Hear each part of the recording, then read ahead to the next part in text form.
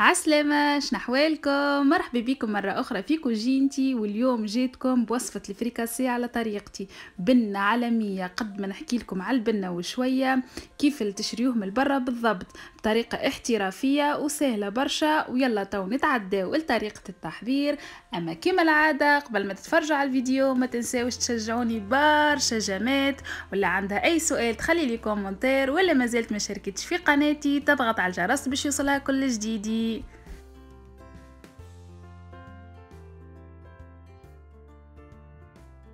أول حاجة باش نحضر العجينة متاع الفريكاسي متاعي خذيت صحفة حطيت فيها كمية الماء اللي هي 300 ملل ماء دافي وحبيت نسهل عليكم كيلتهم بالكاس جاوني كاس ونص كبار. ونعاود ناكد لكم المستحسن يكون ماء دافي وتو باش نحط عليهم مغرفة صغيرة متاع خميرة خبز بما يعادل واحدة ساشية خميرة. وباش نكمل نحط زوز مغارف كبار سكر وعظمة كاملة وأربع مغارف كبار متاع زيت زيت متاع زيت. إني هون استعملت زيت زيتونة اما أنتم لكم الاختيار. ما يقلقش. يعني كيف كيف سواء نباتي ولا زيتونه كيف كيف. وتو باش ندخل المكونات الكل في بعضهم لين الخميرة والسكر يتحلوا بالباهي بالباهي. وآخر حاجة باش نحط كمية الفارينه اللي هي 500 غرام يعني رطي الفارينه وكملت حطيت معاهم غرفة صغيرة متاع ملح. وباش ندخل الفارينه متاعي في الخليط ونبدأ نلم فيها بيدي كما قاعدين تشوفوا لين تتلم العجينة متاعي.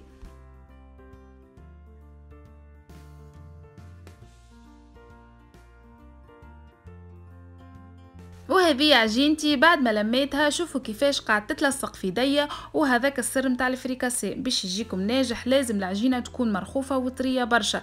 يعني ما تخافوش كي تجيكم طرية وتلصق في يديكم ما تزيدوش فارينة. وتو باش نعمل لها عجنة باهية أقل حاجة خمسة دقائق لين نحسها تلمت تلمت شوية. يعني هي كل مرة كل déjà قد ما تعجناها قد ما تزيد تلم روحها. كما تعرفوا الفارينة تشرب الماء. وكل مرة ندهن يديا بالزيت ونكمل نعجن العجينة متاعي لين نتحصل على عجينه طريه وكيما قاعدين تراو تتلصق في في اليد وتو باش نرجعها للصحفة متاعها وندهنها بشوية زيت ونغطاها ب papier cellophane en contact يعني هي والعجينة باش ما تشمليش الهواء وتعمل لي القشرة الفوقانية هذيك من الفوق.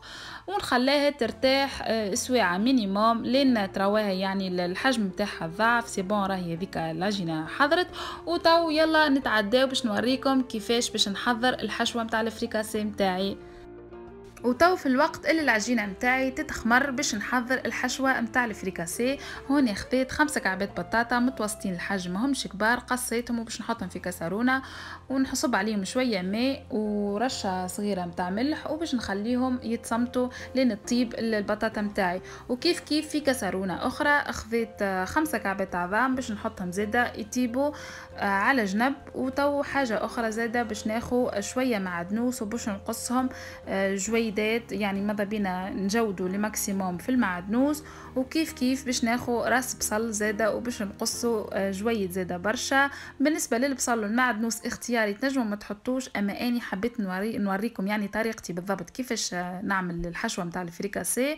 وتو بالنسبة للهريسة حاجة أكيدة كعبة الفريكاسي كما تبداش محرحرة ومشخشخة هيك ما فيهاش حتى بنة. حطيت لها شوية زيت زيتونة كما نقولوا مغرفة صغيرة زيت زيتونة وأربع مغارف كبار متاع ماء. وباش نحلها بالطريقة هذه آه، باش تولي لي souple. يعني وبعد كي نجي نحضر الحشوة متاع الفريكاسي متاعي نلقاها souple ما تعطلنيش. وتو آه زادة كملت حطيت آه الطن بالنسبة للطن زادة نحيت الماء نتاعو هوني حطيت ثلاثة حكوك صغار نتاع طن. وآخر حاجة باش نكمل نحطها اللي هي الزيتون اللي لازم الزيتون يبنن برشا كعبة الفريكاسي لازم تبدأ تبدأ مشخشخة. c'est bon هوني البطاطا نتاعي طابت باش نعمل لها رفسة حطيت عليها شوية زيت زيتونة وباش نرفسها بالطريقة هذه فما عباد تستعمل آه، في الفريكاسي آه، بطاطا مقلية. أما بصراحة ما ننصحش بها خاطر الفريكاسي مقلي وبطاطا مقلية ما يجيش يعني. وفي الآخر باش نقص بالطريقة هذه العظام اللي طيبته آه قصيته هيك ترونشات يعني صغيرات باش نزين به في الآخر. وهذه عجينتي بعد ما تخمرت تشوفوا ما شاء الله كيفاش تخمرت بالباهي. دهنت يديا بالزيت وباش نكسر لها الخميرة نتاعها وباش نحطها تو على ال plan de travail نتاعي آه نلمها شوية كيما قاعدين تراو بيدي وتو باش نشكلها كعبرات صغيرات. وبالنسبة للكبر متاع كعبة الفريكاسي أنتم كيفاش تحبوا كان باش تعملوهم كعبات كبار كبروا في الكعبورة متاع العجينة وكان باش تعملوهم كعبات صغيرات أعملوا كعبورة صغيرة كما نقولوا.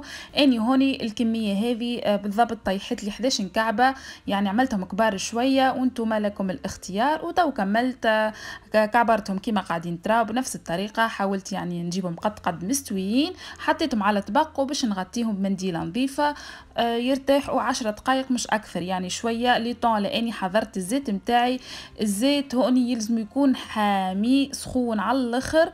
آه تو باش ناخذ الكعبة وكيما قاعدين تراو باش نحلها بالطريقة هذه شوية بيدي باش نعمل لها الفورمة نتاع كعبة الفريكاسي نحلها من الجناب شوية وباش نحطها في الزيت ونعاود نأكد لكم الزيت يلزم يكون سخون حامي. يعني كي تحط الكعبة déjà كيما كيما تشوفوا أول ما حطيت الكعبة فوجت وما شاء الله حمارت فيسا ونكمل نقلي الكعبات نتاعي كيما قاعدين تراو ماذا بينا؟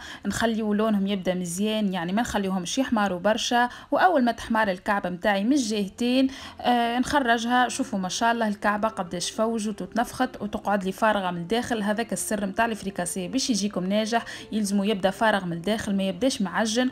وفي نفس الوقت زاد يتبنى وكها ونكمل نطيب الكعبات نتاعي بنفس الطريقة لين نكمل الكمية اللي عندي الكل.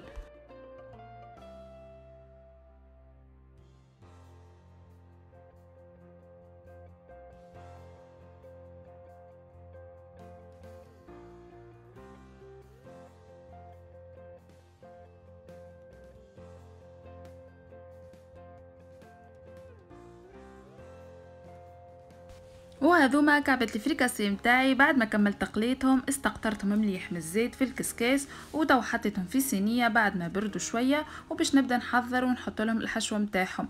أني هوني استعملت مقص باش نحل كعبة الفريكاسي يجيني أسهل برشا من السكينة. شوفوا ما شاء الله الكعبة من الداخل من الداخل قداش طايبة وميهيش معجنة. تو باش نحضر نحط لها ال farce متاعها. حطيت أول حاجة حطيت فيها مغرفة كبيرة متاع هريسة ومغرفة كبيرة متاع بطاطا. عملت لها رشة معدنوس وبصل ونكمل نحط شوية طن هيك من الفوق و tranche متاع عظام ونزينها في الأخر بكعبتين متاع زيتون ونكمل نحضر بقية الكعبات الكل بنفس الطريقة.